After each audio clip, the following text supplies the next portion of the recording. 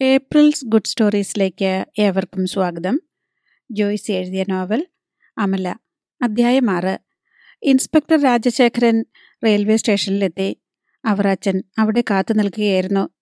കുറച്ചകലെ മാറി യാത്രക്കാരുടെ തിക്കും തിരക്കുമില്ലാത്തിടത്ത് തൂണും ചാരി നിൽക്കുന്ന സ്ത്രീരൂപത്തെ ഇടയ്ക്കിടെ അയാൾ നോക്കുന്നുണ്ടായിരുന്നു. രാജശേഖരൻ നായരും രാഘവൻ പണിക്കരും കൂടി ധൃതിയിൽ വരുന്നത് ഹെഡ് കോൺസ്റ്റബിൾ അവറാച്ചൻ കണ്ടു. അവറാച്ച അവളെവിടെ എസ് ഐ തിടുക്കത്തിൽ ചോദിച്ചു അവറാച്ചൻ വിരൽ ചൂണ്ടി. എസ് ഐ ചാഞ്ഞും ചെരിഞ്ഞു നിന്നും നോക്കി പോക്കറ്റിൽ നിന്ന് പേപ്പർ കട്ടിങ്ങും ഫോട്ടോയും എടുത്ത് അതും നോക്കി ഉവ് നല്ല സാമ്യം.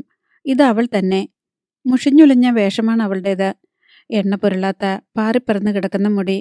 മുഖം കണ്ടപ്പോൾ അവൾ തീർത്തും അവശയാണെന്ന് തോന്നി.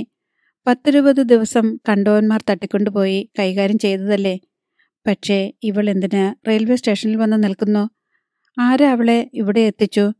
തട്ടിക്കൊണ്ടുപോയവന്മാരിൽ നിന്ന് രക്ഷപ്പെട്ടു പോകുന്നതാണെങ്കിൽ എന്തുകൊണ്ട് നേരെ വീട്ടിലേക്ക് പോയില്ല? മുലകൂടി മാറാത്ത ഒരു പിഞ്ചു കുഞ്ഞില്ലേ ഇവൾക്ക്? ഇവൾ ആരെയാണ് കാത്തു നിൽക്കുന്നത്? ഇനി എവിടേക്ക് പോകാനാണ് ഇവളുടെ ഉദ്ദേശം? ഉള്ളിൽ മുള പൊട്ടിയ നാനാതരം ചോദ്യങ്ങൾ രാജശേഖരൻ നായരെ കുഴക്കി. അത് കാണാതായ അമല തന്നെയല്ലേ എന്ന സംശയവും വീണ്ടും അയാൾ ഫോട്ടോ നോക്കി. നിങ്ങൾ ഇവിടെ നിൽക്ക്.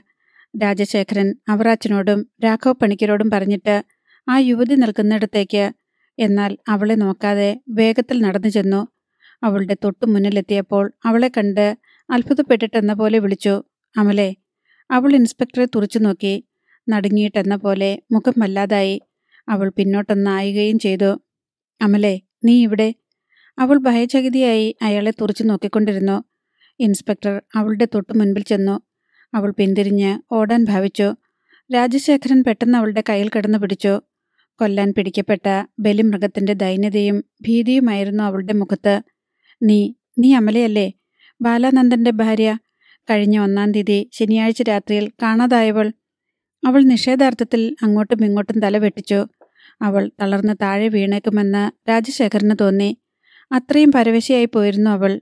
അല്ലേ നീ അമലയല്ലെന്ന് പറയുകയാണോ? അവൾ ഒന്നും മിണ്ടിയില്ല. ഇതാ ഇത് നോക്ക്. ഈ വാർത്ത സത്യമല്ലെന്നാണോ നീ പറയുന്നത്? അയാൾ തന്റെ കയ്യിലെ പേപ്പർ കട്ടിംഗ് അവളുടെ മുഖത്തിന് നേർക്ക് നിവർത്തി പിടിച്ചു കൊടുത്തു. അവൾ അതിലേക്ക് നോക്കി. അതിലെ ഫോട്ടോവിൽ തന്നെ കുറേ സമയം നോക്കി നിന്നു. പിന്നെ വാർത്ത ഒന്ന് ഓടിച്ചു വായിച്ചു. ഇതും നിന്റെ പടമല്ലേ? ഇൻസ്പെക്ടർ സ്റ്റുഡിയോ ഫോട്ടോയും അവളെ കാണിച്ചു.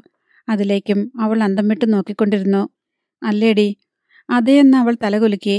നിന്നെ നിനക്ക് തിരിച്ചറിയണമെങ്കിൽ ഞങ്ങൾ പറഞ്ഞു മനസ്സിലാക്കി തരണം അല്ലേടി? പൊന്നു മോൾ വന്ന് വണ്ടിയിലോട്ട് കയറിയാട്ടെ ബാക്കിയൊക്കെ നമുക്ക് സ്റ്റേഷനിൽ ചെന്നിട്ട് സംസാരിക്കാം. പക്ഷേ അവൾ കൂടെ ചെല്ലാൻ കൂട്ടാക്കിയില്ല. ഇൻസ്പെക്ടർ കയ്യിൽ കടന്ന് പിടിച്ചു വലിച്ചപ്പോൾ കൈ കുതിരിച്ച് എതിർപ്പ് പ്രകടിപ്പിക്കുകയും ചെയ്തു. വാടി എന്റെ കൂടെ പത്തിരുപത് ദിവസമായിട്ട് ഞങ്ങളെ കൊണ്ട് നക്ഷത്രം എണ്ണിപ്പിച്ചവളല്ലേ നീ? രാജശേഖരൻ അവളുടെ കൈക്ക് പിടിച്ചുകൊണ്ടുപോയി ജീപ്പിനകത്തേക്ക് തള്ളിക്കയറ്റി. ജീപ്പ് സ്റ്റേഷനിലേക്ക് പാഞ്ഞു. അവറാച്ചനും രാഘവ പണിക്കരും അവൾക്കരികിൽ ഇരിപ്പുറപ്പിച്ചു. ഏതു മറ്റവന്മാരുടെ കൂടെയായിരുന്നടി തേവിടിച്ചി നീ ഇത്രയും നാൾ നിനക്ക് കെട്ടിയവനും മൂന്ന് മക്കളും ഉണ്ടെന്നുള്ളത് നീ അങ്ങ് മറന്നുപോയോ? അവൾ കുനിഞ്ഞിരുന്ന് മുഖം പൊത്തിക്കരഞ്ഞു. നിന്നെ ആരെങ്കിലും തട്ടിക്കൊണ്ടുപോയതോ? അതോ നീ കാമക്കലി മൂത്ത് വല്ലവന്മാരുടെയും കൂടെ ചാടിപ്പോയതോ? അവൾ കരച്ചിൽ തുടർന്നുകൊണ്ടിരുന്നു. കള്ളക്കരച്ചിലൊന്നും കരയില്ലേ? നിന്റെ പൂർവചരിത്രമൊക്കെ ഞങ്ങൾക്കറിയാമടി. എത്ര ആണുങ്ങളുമായിട്ട് നിനക്ക് രഹസ്യ രഹസ്യവീഴ്ച ഉണ്ടായിരുന്നടി? ജീപ്പ് സ്റ്റേഷൻ മുറ്റത്ത് നിന്നു. രാജശേഖരൻ അവളെ ജീപ്പിൽ നിന്നിറക്കി സ്റ്റേഷനകത്തേക്ക് കൂട്ടിക്കൊണ്ടുപോയി. അയാൾ കസേരയിലിരുന്നു. അവളെ മേശയ്ക്ക് മുന്നിൽ നിർത്തി. അവളെ നോക്കി ഒന്ന് ചിരിച്ചു. എന്തൊക്കെയുണ്ടടി വിശേഷങ്ങൾ ഒന്ന് പറഞ്ഞേ. കേൾക്കട്ടെ. പത്തൊൻപത് ദിവസം ശരിക്കും ആഘോഷിച്ചു കാണുമല്ലോ. അവൾ മുഖം താഴ്ത്തി നിന്നു. പറയടി എവിടെയായിരുന്നു നീ ഇതുവരെ? ആരാണ് നിന്നെ തട്ടിക്കൊണ്ടുപോയത്? അവരെത്ര പേരുണ്ടായിരുന്നു? നീ അവന്മാരുടെ പിടിയിൽ നിന്ന് എങ്ങനെ ചാകാതെ രക്ഷപ്പെട്ടു? പറയടി സകലതും നാളത്തെ പത്രത്തിൽ വരേണ്ടത്. മേശമേൽ പിടിച്ചിരുന്ന അവളുടെ വിരലുകൾ വിറയ്ക്കുന്നത് രാജശേഖരന് കാണാമായിരുന്നു. ഒന്നുകൂടി പേടിപ്പിച്ചാൽ അവൾ എല്ലാം തുറന്നു പറയുമെന്ന് അയാൾക്ക് തോന്നി. മുഷ്ടി ചുരുട്ടി മേശമേൽ ആഞ്ഞിടിച്ച് കസേര പിന്നോട്ട് തൊഴിച്ചു തെറിപ്പിച്ചുകൊണ്ട് അയാൾ ചാടിയെണീറ്റ് ബൂട്ടിട്ട കാൽ നിലത്ത് അഞ്ഞ് ചവിട്ടി ഗർജിച്ചു. ചീ പറയടി നായിന്റെ മോളെ. അവളുടെ കൃഷ്ണമണികൾ മലക്കം മറിഞ്ഞു. കുഴഞ്ഞ വിരലുകൾ മേശമേൽ നിന്ന് പിടിവിട്ടു. അവൾ ബോധമറ്റ് നിലത്തു വീണു. രാജശേഖരൻ ഭയന്നുപോയി താൻ ഉദ്ദേശിച്ചതുപോലെയല്ല കാര്യങ്ങളെന്ന് അയാൾക്ക് മനസ്സിലായി. ഇതൊരു കുഴഞ്ഞ കേസാണ്. ഈ പെണ്ണിന് സാരമായ കേട് എന്തോ സംഭവിച്ചിട്ടുണ്ട്. അവറാച്ച ആ വനിതാ പോലീസുകാരോട് വരാൻ പറ. ഇനി നമ്മളിത് കൈകാര്യം ചെയ്താൽ ശരിയാവുകയല്ല. അവറാച്ചൻ പോയ ഉടനെ രാജശേഖരൻ സി ഐയുടെ മുറിയിലേക്ക് ചെന്നു. എന്താ രാജശേഖര? സർ ആ കാണാതെ പോയ പെണ്ണിനെ കിട്ടി അമലയെ. ഓഹോ എവിടെ വെച്ച്? രാജശേഖരൻ കാര്യങ്ങൾ വിശദീകരിച്ചു. അപ്പോഴങ്ങനെയാണല്ലേ സി. ഐ. തല കുലുക്കിക്കൊണ്ടിരുന്നു. Sir S. പിയെ വിളിച്ച് ഒന്ന് പറയുമോ? അവരൊക്കെ നമ്മളെ ഇട്ട് കുറേ ചാടിച്ചതാ. അമല കേസിന് തുമ്പുണ്ടാക്കാഞ്ഞിട്ട്. ശരി ശരി. രാജശേഖരൻ ഇറങ്ങിപ്പോയി. അയാൾ രാഘവ് പണിക്കരോട് പറഞ്ഞു ജില്ലാ ആശുപത്രിയിലോട്ട് വിളിച്ച് ഒരു ആംബുലൻസ് അയക്കാൻ പറ. ആശുപത്രിയിലോട്ടാക്കുന്നതാ നല്ലത്. രാഘവ പണിക്കർ ജില്ലാ ആശുപത്രിയിൽ വിളിച്ച് ആംബുലൻസ് ഏർപ്പാടാക്കി. രാഘവ സർ സകല പത്രക്കാര് നായന്റെ മക്കളെയും വിവരമറിയിച്ചേക്ക് വന്ന് കാണുകയോ ഫോട്ടോ എടുക്കുകയോ എന്തു വേണമെങ്കിൽ ചെയ്തോട്ടെ. അല്ലെങ്കിൽ അവളെങ്ങാനും പടിയായി പോയാൽ അവന്മാരെഴുതി വിടും പോലീസുകാര് ബലാത്സംഗം ചെയ്തു കൊന്നെന്ന് അവളുടെ വീട്ടിലും ഒരാളെ വിട്ട് വിവരമറിയിക്കണം ഏതാനും മിനിറ്റുകൾക്കകം വനിതാ പോലീസ് എത്തി. കസ്റ്റഡിയിലെടുത്തിട്ട് പതിനഞ്ച് മിനിറ്റ് ആയിട്ടില്ല കൃത്യം പതിനൊന്ന് അഞ്ചിന് റെക്കോർഡിൽ എഴുതിയേക്കണം. ഒരൊറ്റ ചോദ്യമേ ചോദിച്ചുള്ളൂ. എവിടെ ആയിരുന്നടീന്ന് ദേ കിടക്കുന്നു. ഹോസ്പിറ്റലിലോട്ട് ഫോൺ ചെയ്തിട്ടുണ്ട്. ആംബുലൻസ് ഇപ്പോഴെത്തും. അവളെ വനിതാ പോലീസിന് കൈമാറി. അധികം വൈകാതെ ആംബുലൻസ് എത്തി. നേരെ ആശുപത്രിയിലേക്ക്. ഡോക്ടർമാർ അടിയന്തരമായി പരിശോധിച്ചു. എന്നിട്ട് പറഞ്ഞു പേടിക്കാൻ ഒന്നുമില്ല. തളർച്ചയാ. കുറഞ്ഞ പക്ഷം ആഹാരം കഴിച്ചിട്ട് മൂന്ന് ദിവസമെങ്കിലും ആയി കാണും. ഒരു മണിക്കൂർ കഴിഞ്ഞ് രാജശേഖരൻ ഹോസ്പിറ്റലിലെത്തി. ഡോക്ടറെ കണ്ട് സംസാരിച്ചു. ആശങ്കപ്പെടേണ്ട കാര്യമൊന്നുമില്ലെന്ന് ഡോക്ടർ പറഞ്ഞു. കഴിഞ്ഞ മൂന്ന് ദിവസമായിട്ടെങ്കിലും പട്ടിണിയ. അതിനു മുൻപും ജീവൻ കിടക്കാൻ മാത്രമുള്ള ഭക്ഷണമേ ആ കുട്ടിക്ക് കിട്ടിയിട്ടുള്ളൂ. ദിവസം ഒരു നേരമോ മറ്റോ. അതിന്റെ വിളർച്ചയും ക്ഷീണവുമുണ്ട്. രക്തക്കുറവ് നല്ലപോലെയുണ്ട്. വേറെ കുഴപ്പമൊന്നുമില്ലല്ലോ? ഇല്ല. അവറാച്ചൻ തന്നെയാണ് അമലയുടെ വീട്ടിൽ വിവരമറിയിക്കാൻ പോയത്. എല്ലാവരും വീട്ടിലുണ്ടായിരുന്നു. കയറി ചെന്ന് കസേരയിട്ട് ഇരുന്നിട്ട് അയാൾ ശ്രീകുമാരി അമ്മയോട് പറഞ്ഞു ഒരു ഗ്ലാസ് വെള്ളം. ശ്രീകുമാരി അമ്മ വെള്ളം എടുത്തു കൊടുത്തു. ബാലനന്ദൻ എവിടെ കിടപ്പ. അവനിപ്പോൾ ശരീരം മുഴുവൻ തളർന്ന പോലെയായില്ലേ അതെന്താ? ഈ കുടുംബത്തിന് അത്താണിയില്ലാതെ പോയില്ലേ സാറേ? അവൻ മാത്രമല്ല ഞങ്ങളും തളർന്നു. എങ്ങനെ ജീവിക്കും? എങ്ങനെ മുൻപോട്ട് പോകും എന്നറിഞ്ഞുകൂടാ. പതിനൊന്ന് ദിവസം കൂടി കഴിഞ്ഞാൽ ഞങ്ങളെല്ലാം തെരുവിലിറങ്ങണം. വീട്ടുടമസ്ഥൻ അന്ത്യശാസനം തന്നിരിക്കുന്നു. ഈശ്വര ദുർവിധി. ദുർവിധിയൊന്നുമല്ല തള്ളേ നല്ല വാർത്തയുണ്ട്. ശ്രീകുമാരി അമ്മയുടെ കണ്ണുകൾ മിന്നി. നല്ല വാർത്തയോ? എന്താ അത്? അമലയെ കിട്ടി. എന്ത്? ശ്രീകുമാരി അമ്മയ്ക്ക് ഹൃദയം മുകളിലേക്ക് ചാടി കുതിച്ചതായി തോന്നി. അമലയെ കിട്ടിയെന്ന്. ജീവനോടെ? അതെ. മോനെ ബാല അത് നിലവിളിയായിരുന്നു. ശ്രീകുമാരിയമ്മ ബാലാനന്ദന്റെ മുറിയിലേക്ക് പ്രായം മറന്ന് ശരീരത്തിന്റെ ബലഹീനത മറന്ന് ഓടിക്കയറി. അവർ ആനന്ദ അശ്രു പൊഴിച്ചുകൊണ്ട് അയാളുടെ ഇരു കവിളിലും കൈത്തലം വെച്ച് നെറ്റിയിൽ ചുംബിച്ചു. എന്താണ് കാണിക്കുന്നതെന്ന് അവർക്ക് തന്നെ അറിഞ്ഞുകൂടാ. ശ്രീകുമാരിയമ്മ അകത്തെ മുറിയിലേക്ക് ഓടി. അച്ഛാ അമലയെ കിട്ടി. അവൾ ജീവിച്ചിരിപ്പുണ്ട്. പൂർണിമേ ഗോപിക്കുട്ട അമല ജീവനോടെയുണ്ട്. മമ്മിയെ കണ്ടോ അമ്മമ്മേ? ബാലമോൾ അവരുടെ ഉടുമുണ്ടിൽ പിടിച്ചു വലിച്ചു. ശ്രീകുമാരിയമ്മ മൂന്ന് കുഞ്ഞുങ്ങളെയും ഒന്നിച്ചു വാരി പിടിച്ചുകൊണ്ട് കരഞ്ഞു. കിട്ടി മക്കളെ മമ്മിയെ കിട്ടി. ബാലാനന്ദന് അത് വിശ്വസിക്കാൻ കഴിഞ്ഞില്ല. എല്ലാവരും വരാന്തയിലേക്ക് ഓടി വന്നു അമല എന്തിയെ? അവളെവിടെ? ജില്ലാ ആശുപത്രിയിലുണ്ട്. ആശുപത്രിയിലോ? അവൾക്ക് എന്തു പറ്റി? ആകെ അവശയായ നിലയിലാ കണ്ടുകിട്ടിയത്. സ്റ്റേഷനിൽ കൊണ്ടുവന്നപ്പോഴേക്കും ബോധം കെട്ടു വീണു. ഉടനെ ആശുപത്രിയിലാക്കി. പേടിക്കാൻ ഒന്നുമില്ലെന്ന ഡോക്ടർ പറഞ്ഞത്. കുറച്ച് ദിവസമായിട്ട് പട്ടിണിയായിരുന്നത്രേ. എന്നിട്ട് അവൾ എവിടെയായിരുന്നെന്ന് പറഞ്ഞോ? ആരാ തട്ടിക്കൊണ്ടുപോയതെന്ന്? ഇല്ല ചോദിക്കുമ്പം കരച്ചില്ല. ഒന്നും മിണ്ടുന്നില്ല. ഒന്നും നല്ല ഓർമ്മയില്ലാത്തതുപോലെയാ. റെയിൽവേ സ്റ്റേഷനിൽ വെറുതെ നിൽക്കുന്നതായിട്ടാ കണ്ടത്. അമലയല്ലേന്ന് ചോദിച്ചപ്പോൾ ആദ്യമല്ലെന്ന് പറഞ്ഞു. ഈശ്വര ശ്രീകുമാരി അമ്മ നെഞ്ചത്ത് കൈവച്ചു അതിന്റെ മനസ്സിനെന്തോ കേടുപറ്റിയിട്ടുണ്ടെന്നാണ് എനിക്ക് തോന്നിയത്. ഏതായാലും ഞാൻ പോകട്ടെ. എന്റെ ജോലി തീർന്നു. അവറാച്ചൻ ഇറങ്ങി നടന്നു. ആശുപത്രിയിൽ പോകണ്ടേ? മുത്തച്ഛൻ ചോദിച്ചു. ആരും മറുപടി പറഞ്ഞില്ല. ഞൊടിയിടയിൽ തകൃതിയായ ഒരുക്കങ്ങൾ ആരംഭിച്ചു. എല്ലാവരും പോകാൻ ഒരുങ്ങുകയാണ്. മുത്തച്ഛനും ബാലനന്ദനും ഒഴികെ എല്ലാവരും ആനന്ദമത്തരും അതേസമയം തന്നെ ആശങ്കാഭരിതരുമായിരുന്നു. മോനെ ബാല ഞങ്ങൾ ചെന്ന് കാണട്ടെ. ഞങ്ങൾ അവളെയും കൊണ്ടേ വരൂ. നീ സമാധാനമായിട്ട് കിടക്ക. അവളെ തിരിച്ചു കിട്ടിയല്ലോ. നമ്മുടെ പ്രാർത്ഥന ദൈവം കേട്ടു. ശ്രീകുമാരി അമ്മയും ഗോപിക്കുട്ടനും പൂർണിമയും മൂന്ന് കുഞ്ഞുങ്ങളെയും എടുത്ത് ആശുപത്രിയിലേക്ക് പുറപ്പെട്ടു. മുത്തച്ഛൻ ബാലനന്ദന്റെ അടികത്ത് വന്നിരുന്നു. ബാല എനിക്കിത് വിശ്വസിക്കാൻ കഴിയുന്നില്ലല്ലോ മോനെ. എനിക്കും ബാലനന്ദന്റെ മുഖത്ത് സന്തോഷമല്ല കണ്ടത്. അയാൾ ഇപ്പോൾ പൊട്ടിക്കരഞ്ഞേക്കുമെന്ന് തോന്നി. മുഖം വല്ലാതെ മുറുകി വിതുമ്പുന്നു. പത്തൊമ്പത് ദിവസം അവൾ എവിടെയായിരുന്നു? അയാൾ ആരോടെന്നില്ലാതെ മുരണ്ടു. അവളെ ആ പട്ടികൾ എന്തൊക്കെ? അതൊന്നും ഓർമ്മിക്കേണ്ട ബാല. നമുക്കവളെ തിരിച്ചു കിട്ടിയല്ലോ. അതും മതി വൃദ്ധൻ സാന്ത്വനം പോലെ പറഞ്ഞു. അവൾ കണ്ണു തുറന്ന് നോക്കുമ്പോൾ കട്ടിലിന് ചുറ്റും ആളുകൾ ഓരോരുത്തരെയും അവൾ തുറച്ചു നോക്കി. മനസ്സിലാകാത്ത നോട്ടം മനസ്സിലാവാത്ത ഭാവങ്ങൾ. അമലേ എന്റെ പൊന്നുമോളെ ശ്രീകുമാരി അമ്മ അവളുടെ ശിരസിൽ കൈവച്ച് ഏങ്ങലടിച്ചു. ഇത് ഞാനാ ബാലന്റെ അമ്മ. ചേച്ചി പൂർണിമ തൊട്ടു വിളിച്ചു. പൂർണിമയെയും അവൾ തുറച്ചു നോക്കി. അമലയെടുത്തി ഞാനോ ഗോപിക്കുട്ടൻ. ബാലയും അല്ലിമോളും അവളുടെ കയ്യിൽ പിടിച്ചുലയ്ക്കുകയും മമ്മി മമ്മി എന്ന് വിളിച്ച് കരയുകയും ചെയ്തുകൊണ്ടിരുന്നു. പൂർണിമയുടെ കയ്യിലിരുന്ന ഉണ്ണിക്കുട്ടൻ കരഞ്ഞുകൊണ്ട് അമലയുടെ നേർക്ക് കുതിച്ചു. അമലേ ഉണ്ണിയെ നോക്ക്. നിന്നെ കാണാഞ്ഞ് അവൻ കരഞ്ഞതിന് കണക്കില്ല. എന്നും എന്നും കരച്ചിലായിരുന്നു മോളെ. കരഞ്ഞു ചാവാറായി. അവൾ കുഞ്ഞിനെയും തുറച്ചു നോക്കി. പിന്നെ കണ്ണുകളടച്ചു കറുപ്പു രാശി വീണ കൺതടങ്ങളിലേക്ക് ഓരോ തുള്ളി കണ്ണീർ ഒലിച്ചു വന്ന് തളം കെട്ടി. നേഴ്സ് വന്ന് എല്ലാവരോടുമായി പറഞ്ഞു മതി എല്ലാവരും പുറത്തോട്ടിറങ്ങുക ഇനി കുറച്ചു കഴിഞ്ഞ് കാണാം. അവർ ഓരോരുത്തരായി മുറിക്ക് പുറത്തിറങ്ങി.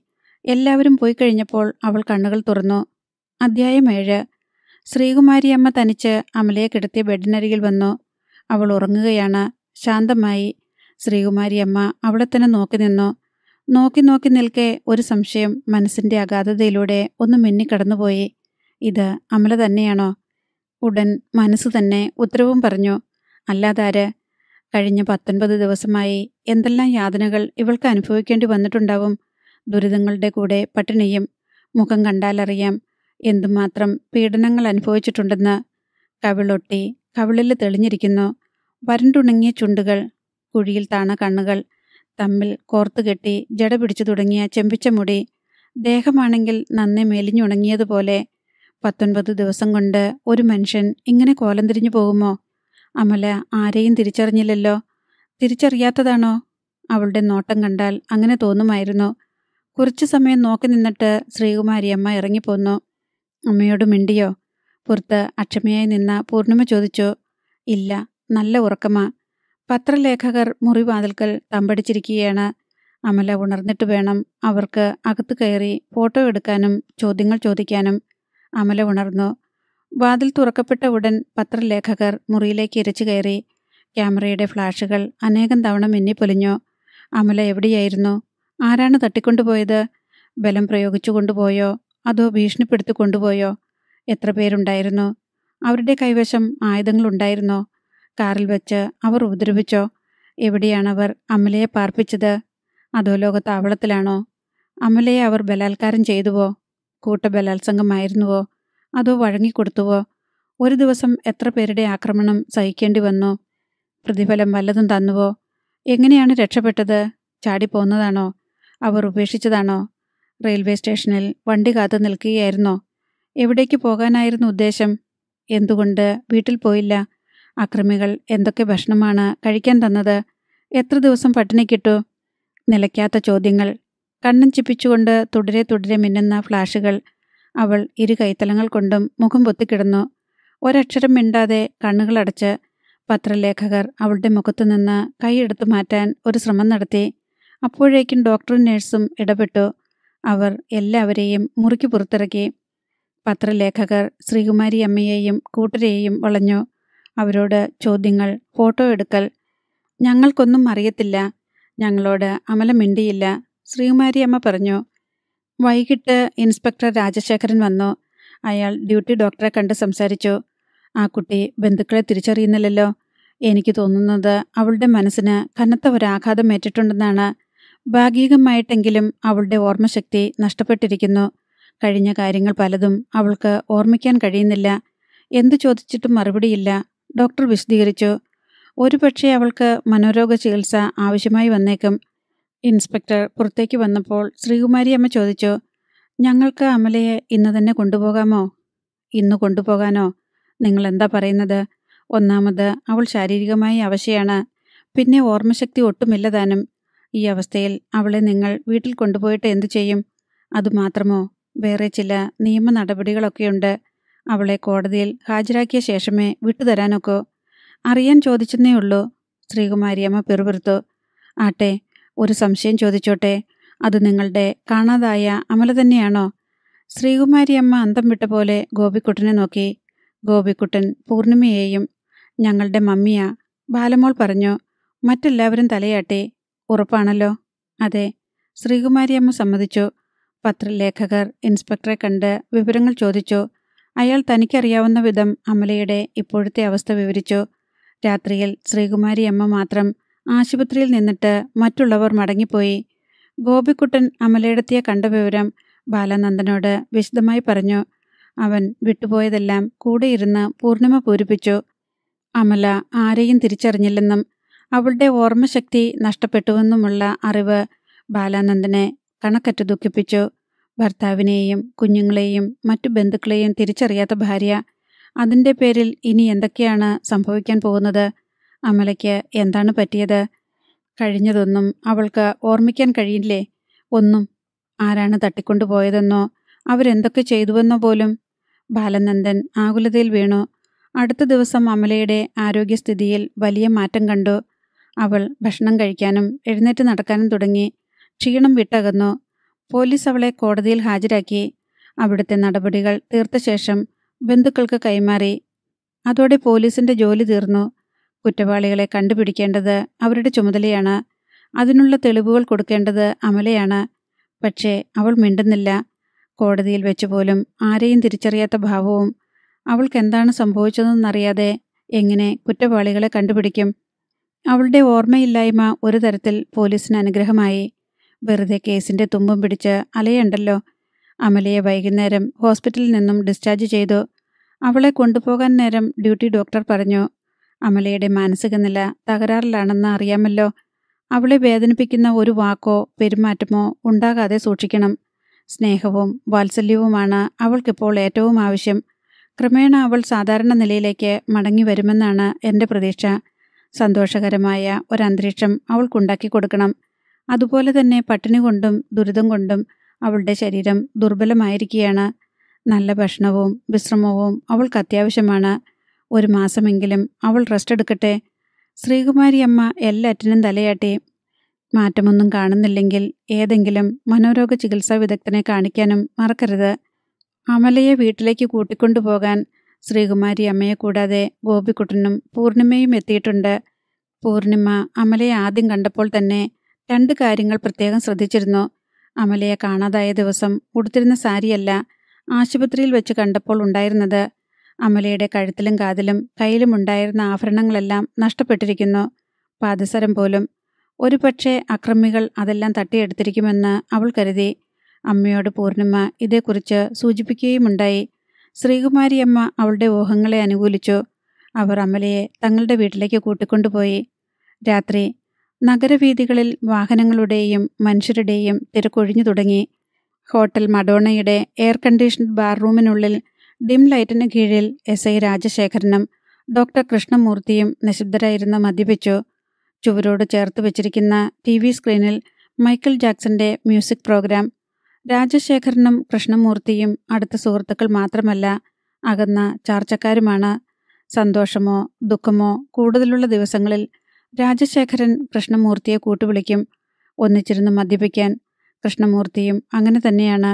അയാൾക്ക് ജില്ലാ ആശുപത്രിയിലാണ് ജോലി. ഇന്ന് രാജശേഖരൻ ക്ഷണിച്ചിട്ടാണ് കൃഷ്ണമൂർത്തി വന്നിരിക്കുന്നത്. തീറ്റിയും കുടിയും ആരംഭിച്ചിട്ട് കുറേ നേരമായി. ഇന്ന് എന്താണ് വിശേഷമെന്ന് രാജശേഖരൻ ഇതുവരെ പറഞ്ഞില്ല. പറയട്ടെ എന്ന് കരുതി കൃഷ്ണമൂർത്തി ചോദിച്ചുമില്ല. മദ്യപാനം മുറയ്ക്ക് നടന്നുകൊണ്ടിരുന്നു. രണ്ടാളുടെയും മുഖം ചുവന്നു വീങ്ങി. ടി വി സ്ക്രീനിൽ പാട്ടും നൃത്തവും തകർക്കുകയാണ്.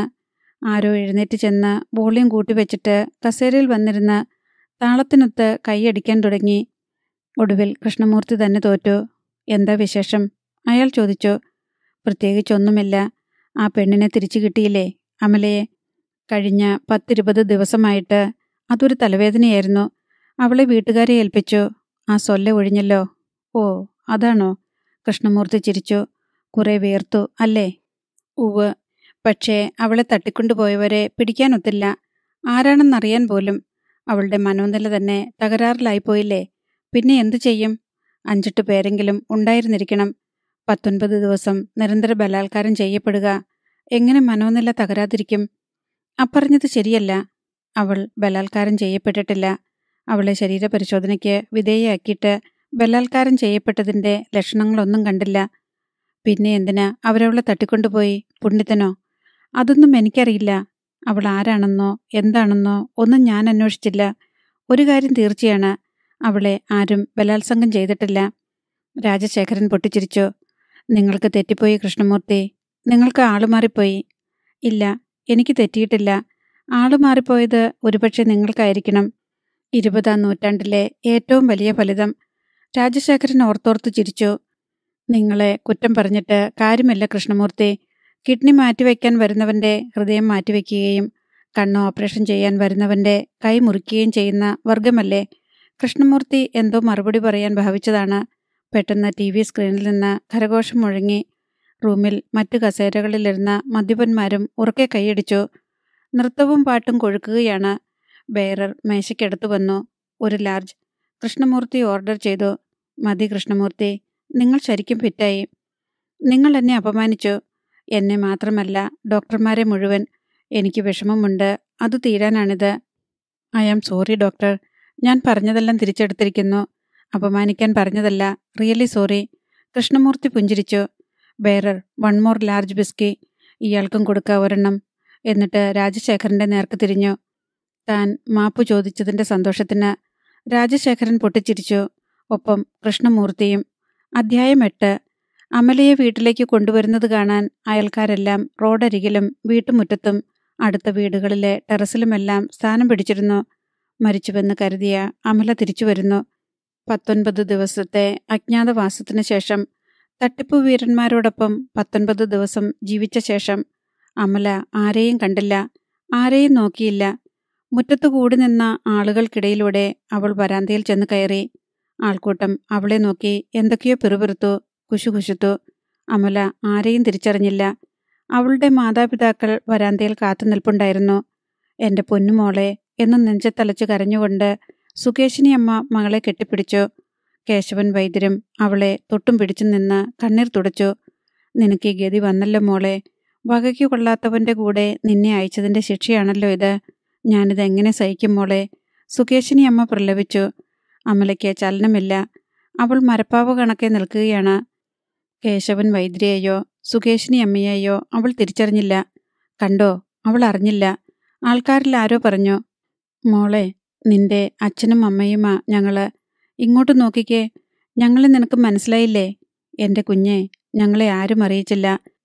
പത്രത്തിൽ കണ്ട് വിവരമറിഞ്ഞ് ഓടി വന്നതാ ഞങ്ങൾ. അമല സുകേഷിനി അമ്മയെ തുറച്ചു നോക്കി. കോലം കണ്ടില്ലേ? പിശാജ് ഈമ്പിയതുപോലെ. അയലത്തെ അമ്മിണിക്കുട്ടിയെ ആരോടെന്നില്ലാതെ പറഞ്ഞു ചണ്ടി പോലായി. എങ്ങനെയാകാതിരിക്കും അവരെത്ര പേര് പെരുമാറിയെന്ന് ആർക്കറിയാം?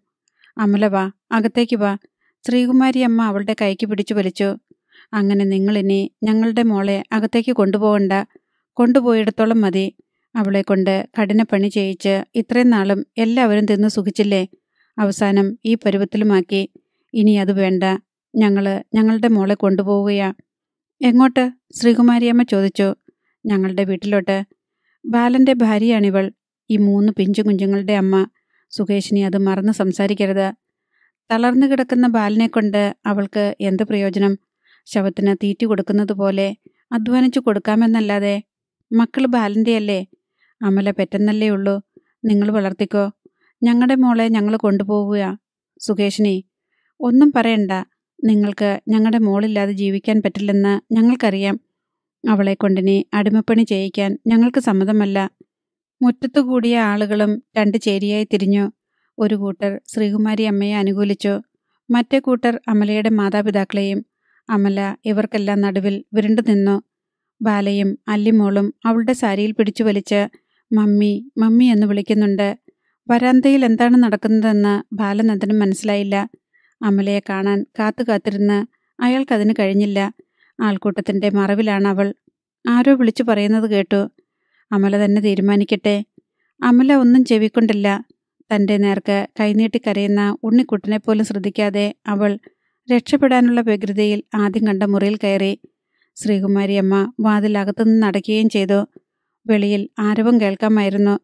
ശ്രീകുമാരിയമ്മ ബാലയെ ബാലനന്ദന്റെ കിടക്കക്കരിയിൽ കൊണ്ടുവന്നു. ബാല ഇതാ. ബാലനന്ദൻ അമലയെ നോക്കി. അയാൾക്ക് ഉൾക്കിടലമുണ്ടായി. അമലയുടെ പ്രേതമാണതെന്നാണ് ആദ്യം അയാൾക്ക് തോന്നിയത്. ബാലനെ നീ ഓർക്കുന്നില്ലേ മോളെ? നിന്റെ ഭർത്താവ് നിന്റെ കുഞ്ഞുങ്ങളുടെ അച്ഛൻ അമല. ബാലനന്ദൻ അവളുടെ കൈക്ക് പിടിച്ചു. അയാളുടെ വിരലുകൾ അവൾക്ക് വേദനിക്കും വിധം മുറുകി. നിനക്ക് എന്തു പറ്റി അമലെ? നീ എവിടെയായിരുന്നു? എന്നെയും നമ്മുടെ കുഞ്ഞുങ്ങളെയും ഇട്ടിട്ട് നീ എവിടേക്കാണ് പോയത്? അമല കട്ടിലിനരികിലിരുന്നു. ബാലനന്ദന്റെ കണ്ണു നിറഞ്ഞു. നീ പോയ ശേഷം ഞാൻ ഉറങ്ങിയിട്ടില്ല. ശരീരം മുഴുവൻ തളർന്നതുപോലെയായിരുന്നു. ഞാൻ തിന്ന തീക്ക് കണക്കില്ല. നിന്നെ ഓർത്ത് നെഞ്ചു പൊട്ടാത്ത ഒരു ദിവസം പോലും അയാൾ അവളുടെ കൈത്തലത്തിൽ ഉമ്മ വെച്ചു. ഏതാനും തുള്ളി കണ്ണീർ അവളുടെ കയ്യിലേക്ക് അടർന്നു വീണു. എനിക്കറിയാമായിരുന്നു നീ തിരിച്ചു വരുമെന്ന്. എല്ലാവരും നീ ജീവിച്ചിരിപ്പില്ലെന്ന് പറഞ്ഞപ്പോഴും ഞാൻ കാത്തിരുന്നു. നീ ഏത് നിമിഷവും വന്നേക്കാമെന്ന് എന്റെ മനസ്സ് പറയുന്നുണ്ടായിരുന്നു. നിനക്ക് വരാതിരിക്കാൻ ഒക്കില്ലെന്ന്. എനിക്ക് വേറെ ആരാ ഉള്ളത്? നമ്മുടെ കുഞ്ഞുങ്ങൾക്ക്. അയാൾ വിങ്ങിപ്പൊട്ടി. ബാല നീ അവളെ വിഷമിപ്പിക്കാതെ. അവളൊന്ന് കിടക്കട്ടെ. എണീറ്റ് വാ മോളെ. ശ്രീകുമാരിയമ്മ അമലയുടെ മുറിയിലേക്ക് അവളെ കൊണ്ടുപോയി. കുഞ്ഞിരാമൻ വൈദ്യർ അമലയുടെ അടുത്ത് വന്നു. അവളെ ആകപ്പാടെ ഒന്ന് നോക്കി. വൃദ്ധന്റെ കണ്ണിൽ സംശയത്തിന്റെ ഒരു തീപ്പൊരി മിന്നിയണഞ്ഞു ഞാനാ മോളെ മുത്തച്ഛൻ. നിനക്ക് ഓർമ്മയില്ലേ? അയാളെയും അപരിചിത ഭാവത്തിൽ അമല തുറച്ചു നോക്കി. അച്ഛ അവളെ വിഷമിപ്പിക്കണ്ട. അവൾക്ക് നല്ല സുഖമില്ല. അവളൊന്ന് കിടക്കട്ടെ. ശ്രീകുമാരി അമ്മ അവളെ കിടക്കയിലിരുത്തി. ബാലമോളും അല്ലിമോളും മമ്മി മമ്മി എന്ന് വിളിച്ച് അവളുടെ അരികിൽ ചുറ്റിപ്പറ്റി നിന്നു. ശ്രീകുമാരി അമ്മ കുട്ടികളെയും വിളിച്ച് മുറിക്ക് പുറത്തിറങ്ങി വാതിലടച്ചു. വെളിയിലുണ്ടായിരുന്ന ആൾക്കൂട്ടം പിരിഞ്ഞു തുടങ്ങിയിരുന്നു. അമലയുടെ അമ്മ വരാന്തയിൽ നിന്ന് ആരോടൊക്കെയോ പരാതി പറയുകയും കരയുകയും മൂക്ക് പിഴിയുകയും ചെയ്യുന്നുണ്ടായിരുന്നു. അവർ ശ്രീകുമാരിയുടെ നേർക്ക് തിരിഞ്ഞു. ഞങ്ങൾക്ക് ഞങ്ങളുടെ മോളെ വിട്ടുകിട്ടണം. അതിനു വേണ്ടിയിട്ട് കോടതിയിൽ പോകാനും ഞങ്ങൾ തയ്യാറാ. സുകേശിനി വെറുതെ ഒന്നും അറിയാത്തതുപോലെ സംസാരിക്കരുത്. കോടതിയിൽ പോകുന്നതിൽ ഞങ്ങൾക്ക് വിരോധമൊന്നുമില്ല. പക്ഷേ അമലയുടെ ഇപ്പോഴത്തെ അവസ്ഥ നിങ്ങൾ മനസ്സിലാക്കണം. അവളുടെ മനസ്സ് വേദനിപ്പിക്കുന്നതൊന്നും പാടില്ലെന്ന ഡോക്ടർ പറഞ്ഞിരിക്കുന്നത്. അവളുടെ മനസ്സ് തകർന്നിരിക്കുകയാ. സ്വന്തം കുഞ്ഞുങ്ങളെപ്പോലും അവൾ തിരിച്ചറിയുന്നില്ല. ആദ്യം അവളുടെ മനസ്സൊന്ന് ശരിയാകട്ടെ. എന്നിട്ട് നിങ്ങൾക്ക് നിർബന്ധമാണെങ്കിൽ കൊണ്ടുപോയിക്കോ. ഇവിടെ നിന്നാൽ അവളുടെ മനസ്സ് ശരിയാവുകയല്ല. ഇവിടെ നിന്നിട്ടല്ലേ അവളുടെ ഗതി ഇതായത്. കണ്ണിൽ ചോരയില്ലാത്ത വർത്തമാനം പറയരുത് സുകേഷിനെ. ആരാ കണ്ണിൽ ചോരയില്ലാത്തത്? ഇത്രകാലം അവളെ ഊറ്റിപ്പിഴിഞ്ഞ് ജീവിച്ച നിങ്ങൾക്കോ? അവളെ പെറ്റ തള്ളയായ എനിക്കോ? നിങ്ങളുടെ ഇഷ്ടം പോലെ ചെയ്യ. ഞാൻ നിങ്ങളോട് സംസാരിക്കാനില്ല. ശ്രീകുമാരിയമ്മ അകത്തേക്ക് പോയി. സുകേഷിനി അമ്മയും ഭർത്താവും കൂടി മുറ്റത്തേക്കിറങ്ങി എനിക്കെന്റെ മോളെ തിരിച്ചു കിട്ടണം. അതിനു വേണ്ടിയിട്ട് ഞാൻ സുപ്രീം കോടതി വരെ പോകും. സുകേഷിനി അമ്മ മുറ്റത്തു നിന്ന് വിളിച്ചു പറഞ്ഞു. എന്നിട്ട് യാത്രയായി. അവർ പോയതോടെ അയൽക്കാരിൽ ശേഷിച്ചിരുന്നവരും കൂടി പിൻവാങ്ങി. തൽക്കാലം വീടൊന്ന് ശാന്തമായി. ബാലയും അല്ലിമോളും ബാലനന്ദന്റെ അരികത്ത് വന്നിരുന്നു. ബാല കൂടെ കൂടെ മമ്മിക്ക് എന്തു പറ്റിയച്ച ഞങ്ങളോട് ഒന്നും മിണ്ടിയില്ലല്ലോ എന്നെല്ലാം പരാതി പറഞ്ഞു. അവളെ അനുകരിച്ച് അല്ലിമോളും അത് ആവർത്തിച്ചു. മമ്മിക്ക് ഒട്ടും സുഖമില്ലാഞ്ഞിട്ടല്ലേ? സുഖമാവുമ്പം മമ്മി മക്കളെ വാരിയെടുത്ത് ഉമ്മ വയ്ക്കും. ബാലനന്ദൻ അവരെ സമാധാനിപ്പിച്ചു. ബാലയ്ക്കുടൻ മമ്മിയുടെ സുഖക്കേട് എന്താണെന്നറിയണം. ഒടുവിൽ ശ്രീകുമാരിയമ്മ വന്ന് ബാലയെ അവിടെ നിന്നും മാറ്റി. മുത്തച്ഛൻ മുറിയിലൂടെ അസ്വസ്ഥനായി അങ്ങോട്ടും ഇങ്ങോട്ടും നടന്നുകൊണ്ടിരുന്നു. ഉണ്ണിക്കുട്ടൻ വീണ്ടും കരച്ചിലാരംഭിച്ചു. കരയുന്ന കുഞ്ഞിനെയും കൊണ്ട് ശ്രീകുമാരിയമ്മ അമലയുടെ അടുത്ത് ചെന്നു. കിടക്കുകയായിരുന്ന അമല വേഗം എഴുന്നേറ്റിരുന്നു. കുഞ്ഞിന്റെ കരച്ചിൽ അവളിൽ ഒരു ഭാവവും ഉണർത്തിയില്ല. തികഞ്ഞ നിർവികാരത അവൾ അതിനെ നോക്കിയത് പോലുമില്ല അമലെ കഴിഞ്ഞ ഇരുപത് ദിവസമായിട്ട് ഉണ്ണി നിന്നെ കണഞ്ഞു കരയുന്നു. നീ കുഞ്ഞിനെ ഒന്നെടുത്തേ. അതിനൊരാശ്വാസമാകട്ടെ അവൾ കൈനീട്ടി കുഞ്ഞ് ആ കൈയിലേക്ക് കുതിച്ചു ചാടി. അവളൊരു മരപ്പാവ് കണക്കെ കുഞ്ഞിനെ മടിയിൽ വെച്ചുകൊണ്ടിരുന്നു. കുഞ്ഞ് കരച്ചിൽ നിർത്തിയിട്ട് അവളുടെ നെഞ്ചോട് പറ്റിച്ചേർന്ന് കിടന്നു. ഇടയ്ക്കിടെ മുഖം തിരിച്ച് അവളെ സൂക്ഷിച്ചു നോക്കി. ഇത് പലതവണ ആവർത്തിച്ചു. പിന്നെ കരഞ്ഞുകൊണ്ട് ശ്രീകുമാരി അമ്മയുടെ നേർക്ക് കൈനീട്ടി അത് അവിശ്വസനീയമായി ശ്രീകുമാരി അമ്മയ്ക്ക് തോന്നി. അവൾ അവനെ തിരിച്ചറിയാത്തതുപോലെ അവൻ അവളെയും തിരിച്ചറിഞ്ഞില്ല. അമലയെ സൂക്ഷിച്ചൊന്ന് നോക്കിയ ശേഷം ശ്രീകുമാരി അമ്മ കുഞ്ഞിനെയും കൊണ്ട് മുറിവിട്ടു പോന്നു. എന്തേ അവൾക്ക് കുഞ്ഞിനെ വേണ്ടേ? മുത്തച്ഛൻ ചോദിച്ചു. എനിക്കറിഞ്ഞൂടാ. ഈശ്വര എന്തൊരു വിധിയേ ഇത്? ഈ കുഞ്ഞ് എന്തു പിഴച്ചു? ശ്രീകുമാരി എന്താ അച്ഛാ? അമല തന്നെയാണോ മോളെ അത്? ശ്രീകുമാരി സ്തബ്ധിയായി. എന്താ അങ്ങനെ ചോദിച്ചത്? അച്ഛന് സംശയം തോന്നിയോ? കണ്ടാൽ അങ്ങനൊക്കെ തന്നെ. പക്ഷേ സ്വന്തം മക്കളെപ്പോലും തിരിച്ചറിയുന്നില്ലെന്ന് വെച്ചാൽ ഡോക്ടർ പറഞ്ഞതല്ലേ ഓർമ്മക്കേടാണെന്ന്. കഴിഞ്ഞ കാലത്തെക്കുറിച്ച് അവൾക്ക് ഒന്നും തന്നെ ഓർമ്മയില്ലത്രേ. ഇനി നമ്മൾ വേണം അവൾ ആരാണെന്നും എന്താണെന്നും മനസ്സിലാക്കി കൊടുക്കാൻ. അങ്ങനൊരു ഓർമ്മക്കേട് വരുവോ? അങ്ങനെ സംഭവിക്കാറുണ്ടത്രേ. ഈശ്വരനറിയാം ഗുരുവായൂരപ്പ നാരായണ മുത്തച്ഛൻ മന്ത്രിച്ചുകൊണ്ട് തന്റെ ഇടുങ്ങിയ ചായപ്പിലേക്ക് പോയി വൈകിട്ട് ആറു മണിയോടെ അമലയുടെ ഓഫീസിലുള്ള സഹപ്രവർത്തകർ കാണാൻ വന്നു. രവീന്ദ്രനും ജോൺ സാമുവലും ഡോളി ഫിലിപ്പും നീല നായരും അവരെ കണ്ടപ്പോൾ ശ്രീകുമാരി അമ്മയുടെ മുഖത്ത് നീരസം പടർന്നു. അമല സുഖമില്ലാണ്ട് കിടക്കുക ഞങ്ങൾക്ക് ജസ്റ്റ് ഒന്ന് കണ്ടാൽ മതി. ഉപദ്രവിക്കുന്നില്ല. ഉടൻ പോയിക്കൊള്ളാം രവീന്ദ്രൻ പറഞ്ഞു. അമല ജോലി ചെയ്യുന്ന സ്ഥാപനത്തിലെ ആൾക്കാരല്ലേ? അവരെ പിണക്കാൻ ഇഷ്ടമില്ലാഞ്ഞ ശ്രീകുമാരിയമ്മ സമ്മതിച്ചു? നാലുപേരും അകത്തെ മുറിയിൽ കിടന്ന് അമലയെ കണ്ടു. അവൾ മനസ്സിലാകാത്തതുപോലെ നാലുപേരെയും മാറി മാറി നോക്കി. ആരാ? നിങ്ങളാരാ? തീരെ പതിഞ്ഞ സ്വരത്തിൽ അവൾ ചോദിച്ചു. നാലുപേരും അന്താളിച്ച് പരസ്പരം നോക്കി. അമലയ്ക്കറിയില്ലേ ഞങ്ങളെ? ഞാൻ രവീന്ദ്രൻ ഇത് ജോൺ സാറ് ഇത് ഡോളി ഇത് നീല നായർ. അമല പിന്നെയും അവരെ മാറി മാറി നോക്കി. അവളുടെ നെറ്റി ചുളിഞ്ഞു. അവളുടെ ഓർമ്മശക്തി നഷ്ടപ്പെട്ടിരിക്കുക. കൂടുതൽ വിഷമിപ്പിക്കണ്ട.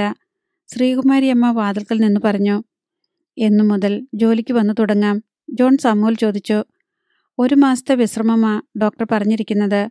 പൂർണ സുഖമായിട്ടെ അവൾ ജോലിക്ക് വരൂ. എന്താണ് സംഭവിച്ചതെന്ന് അറിയാമോ? ഇല്ല നാലോ അഞ്ചോ വാക്കുകളാണ് അവൾ ആകെ സംസാരിച്ചിട്ടുള്ളത്. ഓക്കെ അമല സിയു നിനക്ക് വേഗം സുഖമാകട്ടെ. നാലു പേര് മുറിവിട്ടിറങ്ങി. അവർ ബാലനന്ദന്റെ കിടക്കക്കരികിൽ വന്നു. തങ്ങളുടെ പഴയ സഹപ്രവർത്തകന്റെ ബാലനന്ദൻ ജോൺ സാമുവലിനെയും രവീന്ദ്രനെയും വെറുപ്പോടെയാണ് നോക്കിയത്.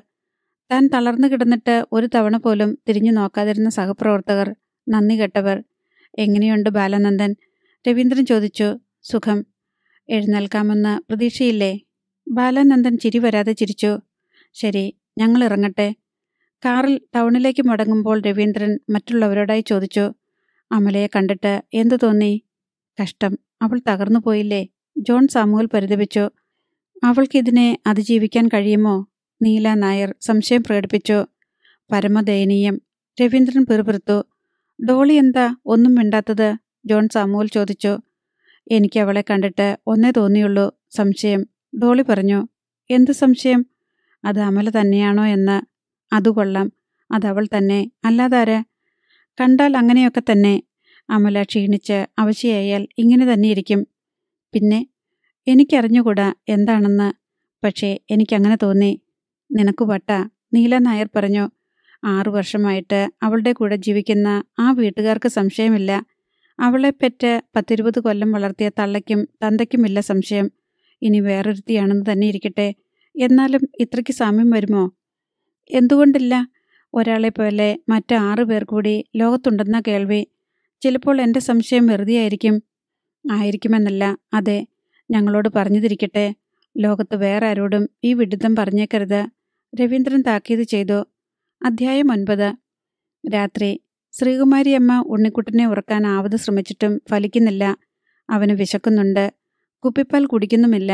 അമല കിടക്കുന്ന മുറിയുടെ നേർക്ക് നോക്കി കരച്ചിൽ തന്നെ. ശ്രീകുമാരി അമ്മയുടെ താരാട്ടുകൾക്ക് അവനെ ഉറക്കാനായില്ല. പൂർണിമ അവനെ എടുത്ത് തോളിലിട്ടുകൊണ്ട് മൂളിപ്പാട്ടും പാടി വരാന്തയിലൂടെ നടന്നു. അവൾ നിന്നാലുടൻ അവൻ കരച്ചിൽ ആരംഭിക്കുകയായി. ഒടുവിൽ ശ്രീകുമാരി അമ്മ അവനെ എടുത്തുകൊണ്ട് അമലയുടെ അടുത്ത് ചെന്നു.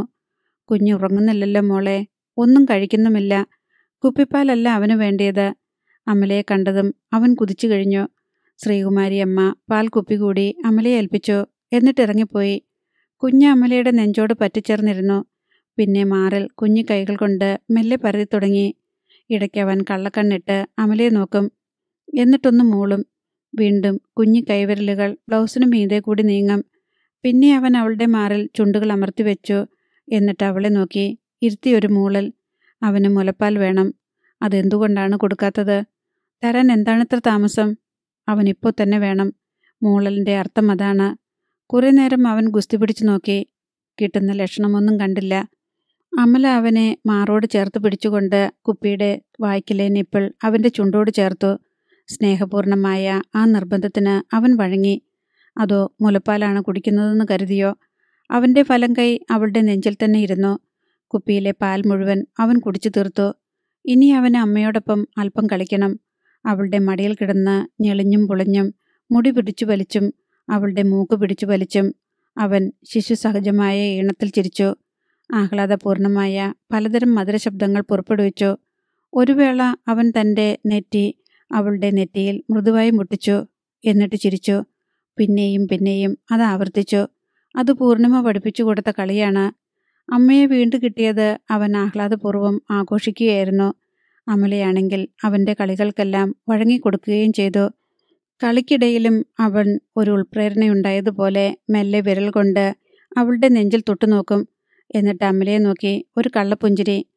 അമ്മിഞ്ഞപ്പാലില്ലേ? ഇല്ലേ? എനിക്ക് തരാത്തതല്ലേ? കളിക്കും ചിരിക്കുമിടയിൽ എപ്പോഴോ അവൻ ഉറങ്ങിപ്പോയി. ശ്രീകുമാരിയമ്മ ഇടയ്ക്കിടെ എത്തി നോക്കുന്നുണ്ടായിരുന്നു. കുഞ്ഞുറങ്ങിയെന്നറിഞ്ഞപ്പോൾ അവർ വന്ന് എടുത്തുകൊണ്ടുപോയി.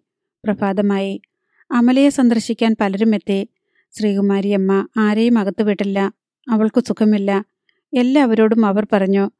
കിട്ടാക്കുടിശ്ശിക പിരിക്കാനെത്തിയ പലവ്യഞ്ജന കടക്കാരനോടും വീട്ടുടമയോടുമെല്ലാം അമലയ്ക്ക് മനോവിഷമം ഉണ്ടാക്കുന്നതൊന്നും ആ അമ്മ അനുവദിച്ചില്ല.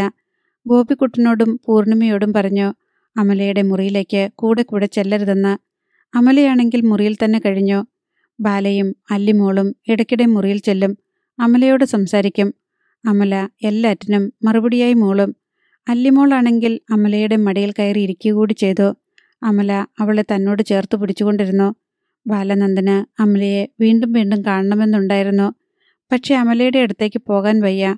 അവൾ ഇങ്ങോട്ട് വരുന്നുമില്ല. ഒരു തവണ അയാൾ ക്ഷമ കെട്ട് അമ്മയെ വിളിച്ചു. ശ്രീകുമാരിയമ്മ വന്നു. എന്താ ബാല? അമലയെ ഇങ്ങോട്ടൊന്ന് വിളിക്കുവോ എനിക്കൊന്ന് കാണണം. എന്തിനാ മോനെ? നിന്നെ കാണുന്നത് അവൾക്ക് വിഷമമായിരിക്കും. എനിക്കൊന്ന് കണ്ടാൽ മതി. ശ്രീകുമാരിയമ്മ അമലയെ വിളിച്ച് ബാലനന്ദന്റെ മുറിയിൽ കൊണ്ടുവന്നു. ബാലനന്ദൻ അവളുടെ കണ്ണുകളിലേക്ക് നോക്കി. അലിപോടെ സ്നേഹത്തോടെ. അമലെ നിനക്കിപ്പോൾ എങ്ങനെയുണ്ട്? അവൾ മെല്ലെ തലയാട്ടി. ഒന്ന് കാണാൻ വിളിച്ചതാ. പോയി കിടന്നു. അമല ഒന്നും മിണ്ടാതെ പിൻവാങ്ങി. അമ്മേ അവൾക്ക് നല്ല ഭക്ഷണം കൊടുക്കണം. അവളുടെ ആരോഗ്യം വീണ്ടു കിട്ടണം. എങ്ങനെയെന്ന് ശ്രീകുമാരിയമ്മ ചോദിച്ചില്ല. അമലയ്ക്ക് നല്ല ഭക്ഷണം കൊടുക്കണം. ഡോക്ടർ കുറിച്ചു കൊടുത്ത ടോണിക്കുകളുടെ കുരുമാനം ശ്രീകുമാരിയമ്മയുടെ കൈവശമുണ്ട്. പണം എവിടെ? വീട്ടു സാമാനങ്ങൾ പലതും പെറുക്കി വിറ്റു കഴിഞ്ഞിരിക്കുന്നു. അടുക്കളയിലുണ്ടായിരുന്ന ചെമ്പ് പിച്ചള പാത്രങ്ങൾ പോലും. ഭാവിയെക്കുറിച്ച് ആലോചിക്കുമ്പോൾ ശ്രീകുമാരി അമ്മയുടെ നെഞ്ചിൽ തീയാണ്. അമലയ്ക്ക് സുഖമാകാൻ ഒരു മാസമെടുക്കും. അത് കഴിഞ്ഞില്ലേ? ജോലിക്ക് പോകാനൊക്കോ? ശമ്പളം കിട്ടാൻ പിന്നെയും ഒരു മാസം കഴിയണ്ടേ? ചുറ്റോട് ചുറ്റും കടമാണ് എങ്ങനെ വീട്ടും? അമ്മലയ്ക്ക് ഇനി ഒരിക്കലും ജോലി ചെയ്യാൻ സാധിക്കുന്നില്ലെങ്കിലോ? ശ്രീകുമാരിയമ്മ അയൽപ്പക്കത്തുള്ള ചിലരോട് കുറച്ച് രൂപ കൂടി കടം വാങ്ങി അമല തിരിച്ചു വന്നല്ലോ. കടം വീട്ടിക്കൊള്ളും എന്ന് പറഞ്ഞപ്പോൾ പലരും കൊടുത്തു. പാൽക്കാരനോടും പലവ്യഞ്ജനക്കാരനോടും പറഞ്ഞിട്ട് വഴങ്ങിയില്ല. ഓൾക്കിനി ജോലിക്ക് പോകാൻ പറ്റുമോ ഓർമ്മക്കേടല്ലേ? അതാണ് അവരുടെ സംശയം. അമലയ്ക്ക് ജോലി തുടരാൻ സാധിച്ചില്ലെങ്കിൽ എങ്ങനെ പണം കിട്ടും? ആദ്യത്തെ രണ്ടു മൂന്ന് ദിവസം ശ്രീകുമാരി അമ്മ അമലയുടെ ഭക്ഷണക്രമത്തിൽ ഒരു കുറവും വരുത്തിയില്ല. പാൽ മുട്ട പഴങ്ങൾ പച്ചക്കറികൾ ഇവയെല്ലാം വേണ്ടുവോളം നൽകി. കുഞ്ഞുങ്ങളും വീട്ടിലുള്ള മറ്റുള്ളവരും മിക്കവാറും പട്ടിണിയായിരുന്നു താനും. അമല വീട്ടിൽ തിരിച്ചെത്തിയതിന്റെ നാലാം ദിവസമായിരുന്നു. സാധനങ്ങൾ വാങ്ങാൻ ഗോപിക്കുട്ടനെയും കൂട്ടി പുറത്തുപോയ ശ്രീകുമാരി അമ്മ വെറും കൈയോടെ മടങ്ങി വന്നു. അമലയ്ക്കന്ന് പട്ടിണി കിടക്കേണ്ടി വന്നു. ഉണ്ണിക്കുട്ടന് കൊടുക്കാൻ പാൽ പോലും വാങ്ങാൻ നിത്തില്ല. തീരെ നിവർത്തി കെട്ടപ്പോൾ ശ്രീകുമാരിയമ്മ അമലയെ സമീപിച്ചു പറഞ്ഞു മോളെ ഈ വീട്ടിൽ ഇന്ന് അടുപ്പ് പുകഞ്ഞിട്ടില്ല. ഞങ്ങളുടെ കാര്യം സാരമില്ല. നിന്റെയും കുഞ്ഞുങ്ങളുടെയും കാര്യം അതുപോലാണോ? ചോദിച്ചാൽ ആരും കടം തരാനില്ല. അമല ഒന്നും മിണ്ടാതെ നിന്ന് കേട്ടു നിനക്ക് ഗോപിക്കുട്ടന്റെ കൂടെ ഇസ്മയിലിന്റെ കട വരെ ഒന്ന് പോകാമോ? നീ പറഞ്ഞാൽ അയാൾ സാധനങ്ങൾ കടം തരും. നിനക്ക് സുഖമായെന്ന് പറ. ഉടനെ ജോലിക്ക് പോകുന്നുണ്ടെന്നും ശമ്പളം കിട്ടിയാൽ ഉടനെ വീട്ടാമെന്നും പറ. നിനക്ക് ഓർമ്മക്കേടാണെന്നും പറഞ്ഞ് കടം തരാൻ മടിച്ചിരിക്കുക അയാൾ. എന്റെ പൊന്നു മോൾ ചെല്ല്. ഗതി കെട്ടിട്ടല്ലേ മോളെ? അല്ലെങ്കിൽ കണ്ണിച്ചോരയില്ലാതെ ഞാൻ ഇങ്ങനെ പറയോ? അമല അനങ്ങിയില്ല. കുഞ്ഞുങ്ങളെ കണ്ടോ മോളെ? വിശന്നിട്ട് വാടിക്കൊഴിഞ്ഞു കിടക്കുന്നത്. വേറൊരു വഴിയും ഞാൻ കാണുന്നില്ല. ഞാൻ എന്താ ചെയ്യുക അമല പെട്ടെന്ന് തിരിഞ്ഞു കിടന്നു കളഞ്ഞു. ശ്രീകുമാരി അമ്മ സങ്കടം സഹിക്കാനാവാതെ മുറിയിൽ നിന്നിറങ്ങി. ഈശ്വര അടുക്കളയുടെ ഭിത്തിയിൽ ചാരി നിന്ന് ആ സാധു സ്ത്രീ ഏങ്ങിക്കരഞ്ഞു. സന്ധ്യയായി. വീട്ടിലാർക്കും മിണ്ടാട്ടമില്ല. ബാലമ്മോൾ അമലയുടെ മുറിയിൽ ചെന്ന് കട്ടലിൽ കയറിയിരുന്നു. മമ്മി. അവൾ ഞരങ്ങി. വിശക്കുന്നു മമ്മി. അവൾ ചിണുങ്ങി കരയാൻ തുടങ്ങി. അല്പം കഴിഞ്ഞപ്പോൾ അല്ലിമോളും വേച്ചു വേച്ച് അവളുടെ അരികിൽ വന്നിരുന്ന് ചിണുങ്ങി തുടങ്ങി. രാത്രിയിൽ ശ്രീകുമാരി അമ്മ അമലയോട് ചേർന്ന് കിടന്നുറങ്ങിയ അല്ലിമോളെ എടുത്ത് പൂർണിമയുടെ കൂടെ കിടത്തി ഇടയ്ക്ക് അമലയുടെ കയ്യിൽ വന്ന ഉണ്ണിക്കുട്ടൻ പിന്നെ അവളുടെ അടുത്തുനിന്ന് പോയതേയില്ല അവൻ അവളുടെ ചൂട് കിടന്ന് ഉറങ്ങി. അമലയും തളർന്നുറങ്ങിപ്പോയി. രാത്രിയിൽ എപ്പോഴോ അവൾ ഞെട്ടിയുണർന്നു. ബെഡ്റൂം ലൈറ്റിന്റെ അരണ്ട വെളിച്ചമുണ്ട് മുറിയിൽ. നെഞ്ചിലെന്തോ വലിയുന്നതുപോലെ തോന്നി. നോക്കുമ്പോൾ നൈറ്റിയുടെ ഹുക്ക് വിട്ടുകിടക്കുന്നു. കള്ളൻ കട്ടുപൊടിക്കുകയാണ്. മുലപ്പാൽ കിട്ടാഞ്ഞിട്ട് ഇടയ്ക്കിടെ കടിക്കുന്നുമുണ്ട്. അമല കൊടും കൈകുത്തി തല കൈപ്പത്തിമേൽ താങ്ങിവെച്ച് നോക്കി. ഉണ്ണിക്കുട്ടൻ കൊണ്ടുപിടിച്ചു കുടിക്കുന്നു.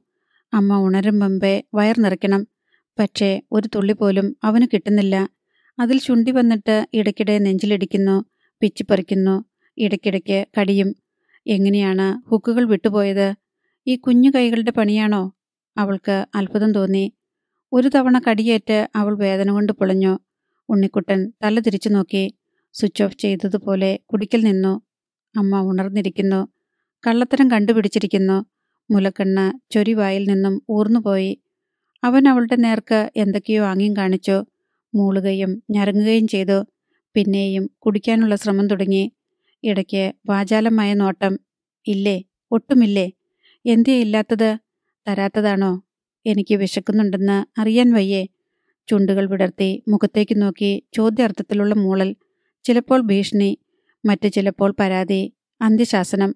ദേഷ്യം പിടിച്ചിട്ട് അവൻ ചവിട്ടാനും നെഞ്ചിലടിക്കാനും തുടങ്ങി.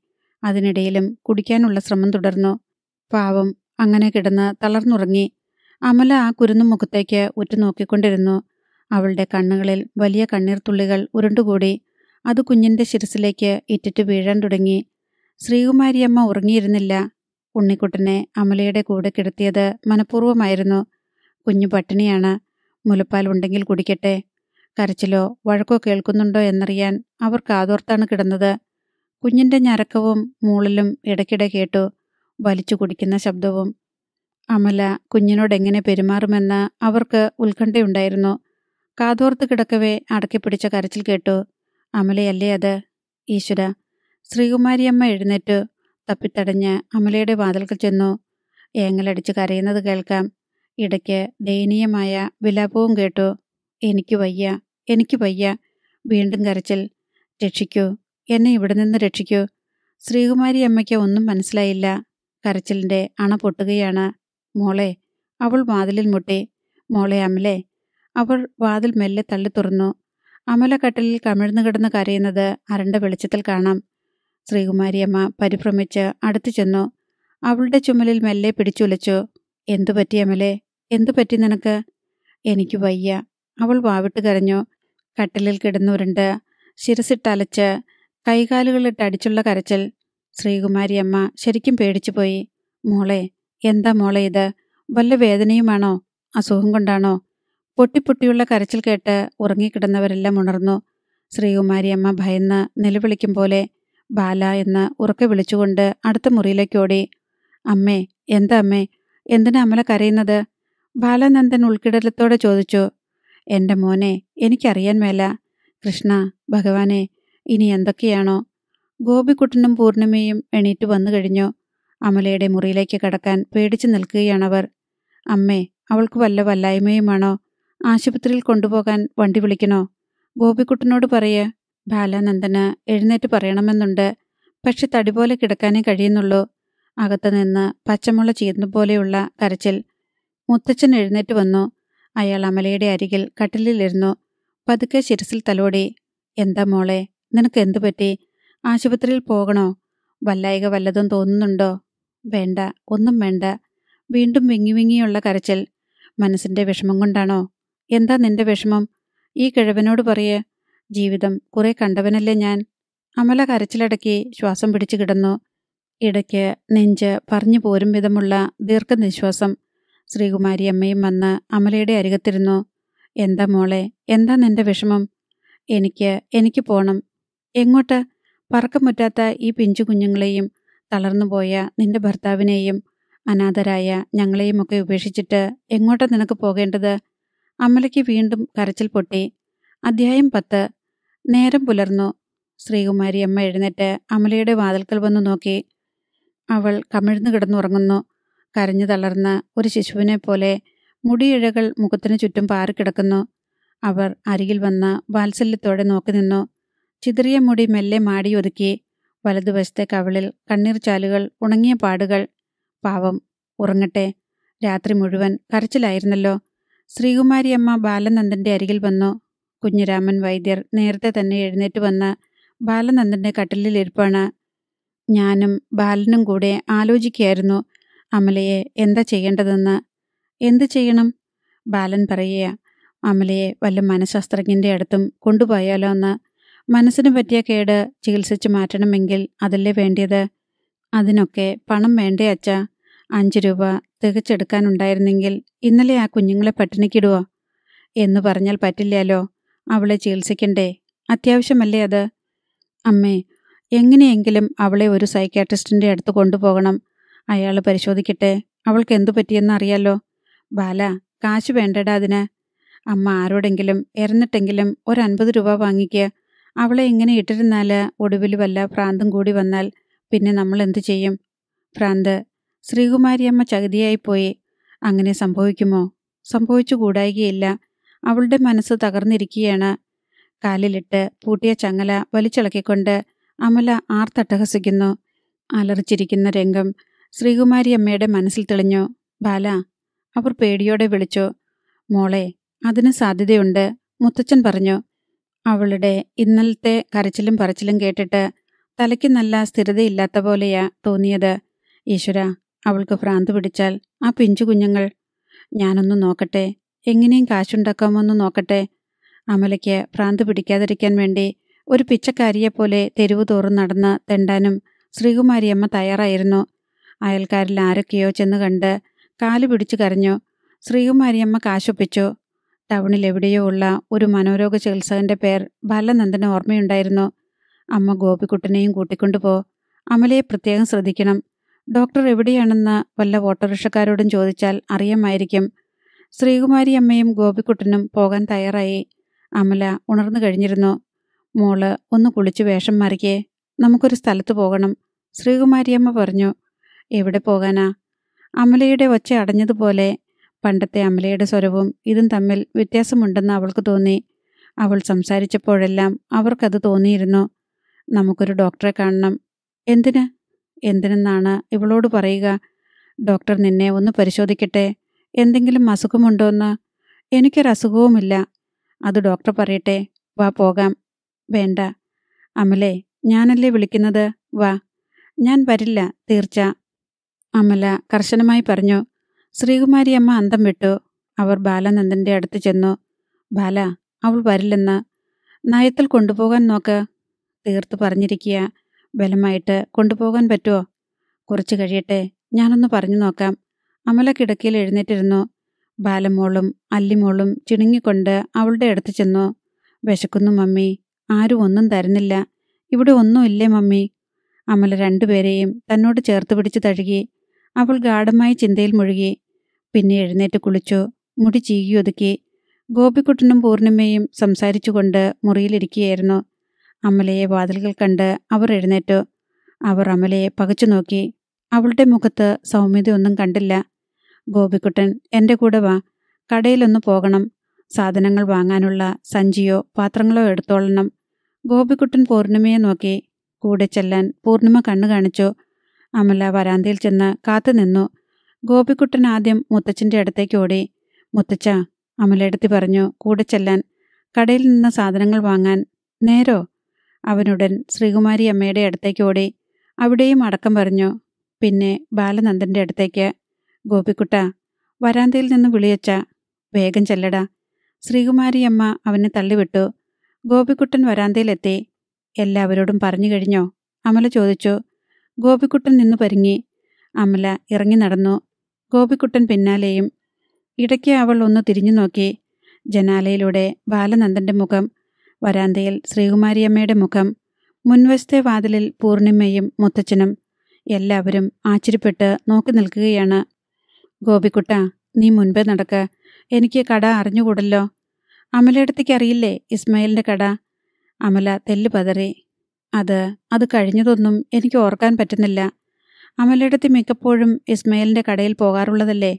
ഒന്നുകിൽ ഞാൻ കൂടെ കാണും അല്ലെങ്കിൽ പൂർണിമ ചേച്ചി. അമല മൂളി ഒരു ഫർലോങ് ദൂരമേ ഉള്ളൂ ഇസ്മയിലിന്റെ കടയിലേക്ക്. ഇതാണ് കട. ആ താടി മീശക്കാരൻ ഇസ്മയിൽ ഇപ്പോൾ ഓർമ്മയുണ്ടോ? അമല വെറുതെ തലയാട്ടി വലിയൊരു കടയാണത്. ആ പ്രദേശത്തെ ജനങ്ങൾക്ക് അരിയും ഉപ്പും മുളകും തുടങ്ങി നിത്യോപയോഗ സാധനങ്ങളെല്ലാം ഇസ്മയിലാണ് വിതരണം ചെയ്യുന്നത്. അതിനോട് ചേർന്നുള്ള റേഷൻ കടയും ഇസ്മയിലിന്റെ തന്നെ. അമലയെ കണ്ട് ഇസ്മയിൽ താടി ചൊറിഞ്ഞുകൊണ്ട് വിസ്മയത്തിൽ എഴുന്നേറ്റു. അല്ല ഇതാര്? കണ്ടിട്ട് കുറേ കാലമായല്ലോ. ഇവിടെ ഇല്ലായിരുന്നോ? അമല ഇസ്മയിലിനെ അടിമുടി ഒന്ന് നോക്കി. കരിവീട്ടിയുടെ ശരീരമുള്ള ഒരു ആറര അടിക്കാരൻ ആജാനുബാഹു കൗശലം പിടിച്ച കണ്ണുകളും ചിരിയും കണ്ടാൽ അഭ്യാസിയാണെന്ന് തോന്നും. അമല അയാളുടെ മുഖത്തേക്കൊന്ന് തറച്ചു നോക്കി. എന്നിട്ട് പറഞ്ഞു ഇവിടെ ഇല്ലായിരുന്നു. ഇസ്മയിൽ പരിങ്ങിയ ചിരിചിരിച്ചു എന്റെ അമ്മ വന്ന് ചോദിച്ചിട്ട് നിങ്ങളെന്താ ഇസ്മയിലെ സാധനങ്ങൾ കൊടുക്കാഞ്ഞത്? ഞാൻ മയ്യത്തയില്ലെന്നറിഞ്ഞപ്പോഴെങ്കിലും കൊടുക്കാമായിരുന്നില്ലേ? കടമൊക്കെ ഞാൻ വീട്ടുമായിരുന്നല്ലോ. ഇങ്ങക്ക് ഓർമ്മക്കേടാണെന്ന് കേട്ട്? ഓർമ്മക്കേടാണ്. ഇപ്പോഴുമുണ്ട്. പക്ഷെ കടം ഞാൻ വീട്ടും. അടുത്തയാഴ്ച മുതൽ ഞാൻ ജോലിക്ക് പോവുകയാ.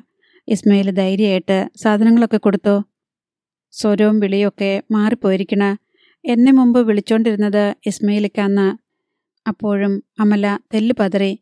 ഞാൻ പറഞ്ഞല്ലോ ഇപ്പോഴും എനിക്ക് ഓർമ്മക്കേടുണ്ട്.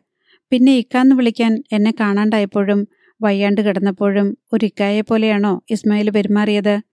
വീണ്ടും അയാളുടെ കൗശലച്ചിരി എങ്ങിക്കിപ്പോ? എന്തൊക്കെയാ വേണ്ടേ? അത് പറഞ്ഞോളി. ഗോപിക്കുട്ട സാധനങ്ങൾ വേണ്ടതെല്ലാം വാങ്ങിച്ചോ. വീട്ടിലില്ലാത്തത് എന്തൊക്കെയാണോ അത് മുഴുവൻ. ഒരാഴ്ചത്തേക്കുള്ളത് വാങ്ങിച്ചോ. കാതിരേ എടാ കാതരെ കന്നമറും പോലുള്ള വിളിയൊച്ച. പതിനഞ്ച് വയസ്സ് പ്രായം തോന്നിക്കുന്ന ഒരുവൻ ഓടിക്കതച്ചു വന്നു. എവിടെ പോയടാ ഹമുക്കെ? നിന്റെ ഉമ്മാന്റെ മയ്യത്തെടുക്കാനാ? ചോദിച്ച സാധനങ്ങൾ എടുത്തു കൊടുക്കടാ. ഗോപിക്കുട്ടൻ മനസ്സുകൊണ്ട് ഒരു ലിസ്റ്റ് പെട്ടെന്ന് തട്ടിക്കൂട്ടി. വേണ്ട സാധനങ്ങൾക്കെല്ലാം പേര് ഒന്നൊന്നായി പറഞ്ഞു കൊടുത്തു. പലരും തന്നെ ശ്രദ്ധിക്കുന്നത് അമല കണ്ടു. ഇസ്മായിലിന്റെ ബീവിയോ മക്കളോ അകത്തുനിന്ന് എത്തി നോക്കുന്നു. റേഷൻ കടയിൽ വന്നവരും അവളെയാണ് നോക്കുന്നത്. അമല ആരെയും ശ്രദ്ധിക്കാതെ ഖാദർ സാധനങ്ങൾ തൂക്കുന്നത് നോക്കിക്കൊണ്ട് നിന്നു. രണ്ട് സഞ്ചികളിലും ഒരു വട്ടിയിലും നിറച്ച സാധനങ്ങൾ പറ്റിങ്ങ് കുറിച്ച് തന്നേക്ക്. അമല പറഞ്ഞു ബുക്കേൽ എഴുതിയിട്ടേക്കാം. ഗോപിക്കുട്ട ഒരു സഞ്ചി ഇങ്ങതാ വേണ്ട അമലയെടുത്തി ഞാൻ എടുത്തോളാം. ഇത്തിരി ദൂരമല്ലേ ഉള്ളൂ. അമല ചെന്ന് അവന്റെ കയ്യിൽ നിന്നും തൂക്ക കൂടുതലുള്ള സഞ്ചി പിടിച്ചു വാങ്ങി. ഗോപിക്കുട്ടിന് അത്ഭുതമായിരുന്നു. പണ്ട് അമലയിടത്തി കടയിൽ വന്നാൽ സാധനങ്ങൾക്കുള്ള ലിസ്റ്റ് കൊടുത്തിട്ട് ഇസ്മയിലിക്കയോട് കൊഞ്ചു കുഴിഞ്ഞു നിൽക്കുകയുള്ളൂ. എത്രയധികം സാധനങ്ങൾ കൊണ്ടുപോകാനുണ്ടെങ്കിലും ഒരു കൈ സഹായിക്കുകയില്ല. യജമാനത്തിയെപ്പോലെ മുൻപേ ഞെളിഞ്ഞു നടക്കും.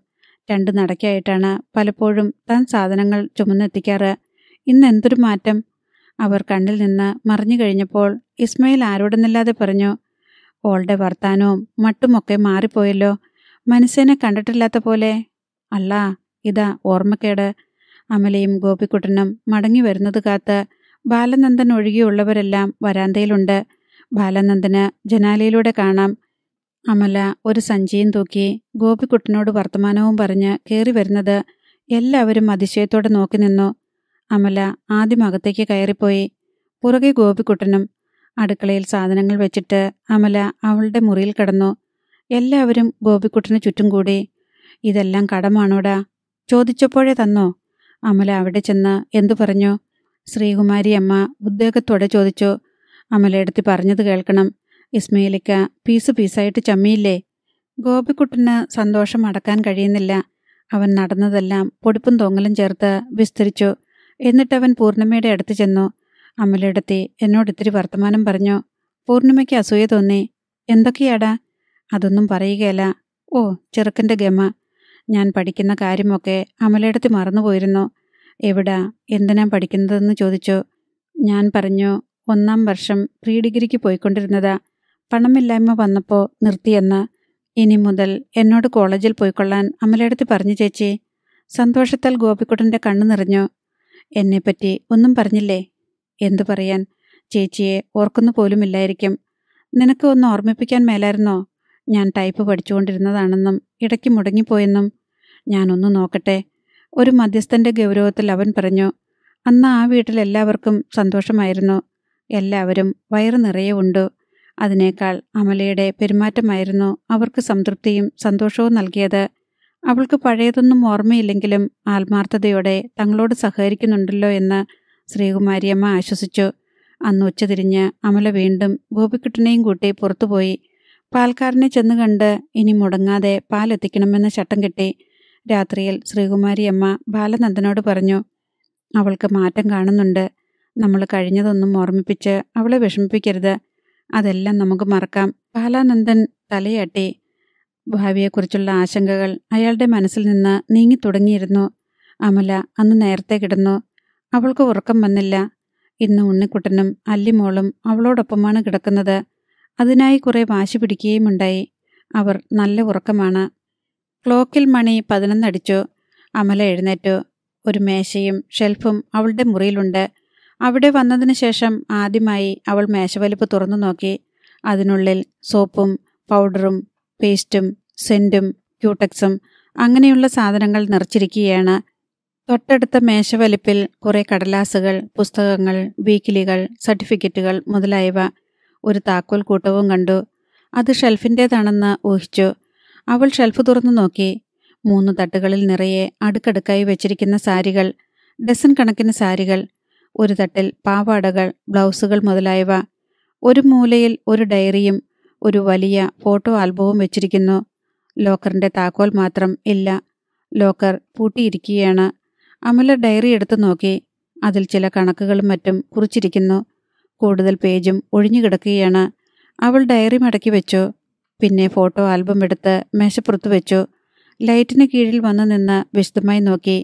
അമലയുടെ ഫോട്ടോകളായിരുന്നു അതിൽ നിറയെ. പല വേഷങ്ങളിൽ പല ഭാവങ്ങളിൽ കുട്ടിയായിരുന്നപ്പോഴത്തേത് കൗമാരപ്രായക്കാരി ആയപ്പോഴത്തേതും യുവതി ആയപ്പോഴത്തേതും അച്ഛനമ്മമാരോടൊപ്പമുള്ള ഫോട്ടോകൾ സഹപാഠികളോടൊപ്പമുള്ള ഫോട്ടോകൾ കൂട്ടുകാരികളോട് ഒത്തുള്ളത് ഭർത്താവിനോടൊത്തുള്ളത് കുഞ്ഞുങ്ങളോടൊത്തുള്ളത്.